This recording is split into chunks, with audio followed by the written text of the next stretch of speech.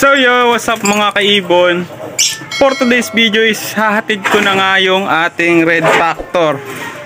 So yun, may gumawa na nga sa ating Red Factor no at dadalhin ko na nga siya ngayon sa Tagig. So bale, ito na siya ngayon mga kachapsoy.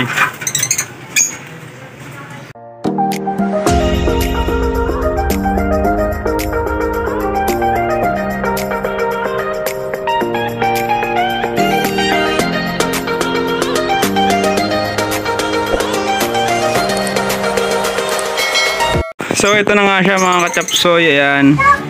Yung ating Red Factor.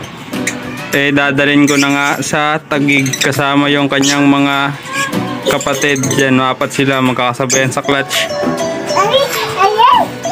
Yan, dadalhin na natin siya sa Tagig.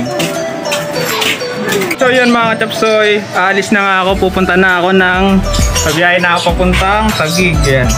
So yun, ito yung mga ipapakita ko lang sa inyo bago ako pumiyahe. Ayan. Ayan nga yung red factor. Ang ganda talaga ng red factor na yan. Lalo na pagka sa personal nyo na nga nakita. Ayan no. Multing na siya. So yun, tara, let's go. So what's up mga chapsoy, nandito na nga tayo sa ating lokasyon no, kay Sir RSS Avery. Yun, napakarami niyang ibon dito at napakagaganda ng mga alaga niya. Walang patapon, puro quality, no? Pakita sa inyo, ta. So yun na nga, pagpasok pa lang natin ng pinto, meron na nga agad tayo makikita ang mga cages na naglalaman ng mga African ng mga quality, no? So yun, wala siya ditong normal na African, puro high mutation. Ayan, ganda. Saka ang dami.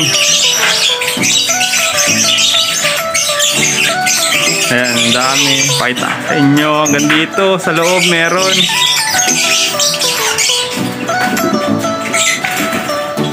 Yan, hanggang dito. So yun, ang daming African lover ni Sir. 45 na to. Ayan, may mga number kada cage.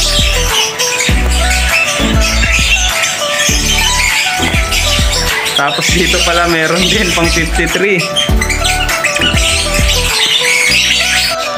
So yun, bali dito nga pala kay Sir napunta tong si Red Factor natin. Ayan.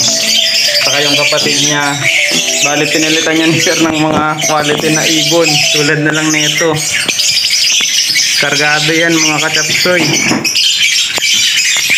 Saka itong dilute and green faded.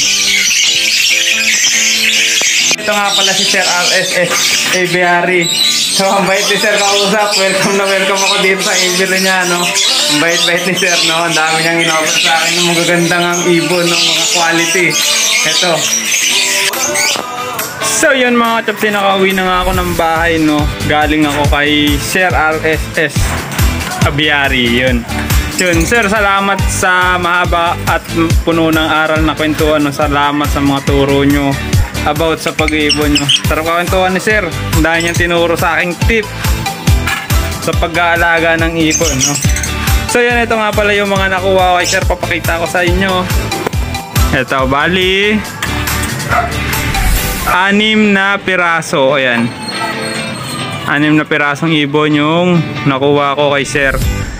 Uh, no money involved. Nagpalitan lang po kami ng ibon. And sir, thank you po. Thank you po sa mga materialis na pinadala niyo sa akin. Ang daming pinadala ni sir.